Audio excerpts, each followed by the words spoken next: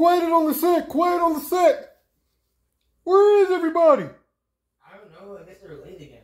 Oh, I can't stand Steven. I'm coming. I'm coming.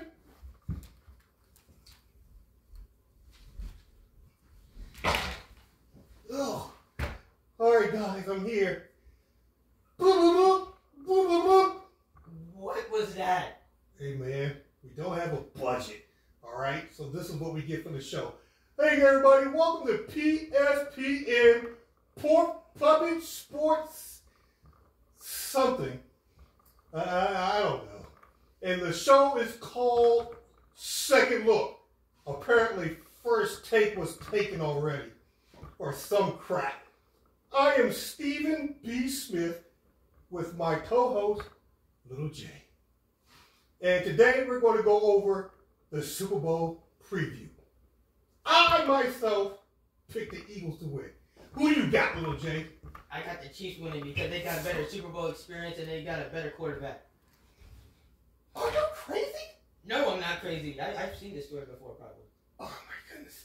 The Eagles are going to win because of one reason alone. Jalen Hurts. Jalen Hurts is he is a great quarterback, but he is not winning that Super Bowl. You know what? This is absolutely ridiculous. Okay, I'm going to bring out our guest speaker today, and he's going to explain why the Eagles are going to win. Who's, where's the guest? I don't know where the guest is. What the? What? What? what, what who is this? Baby Yoda. Who's going to win?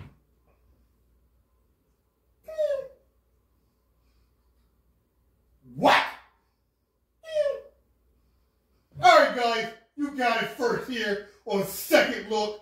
Eagles all day! I'm out of here.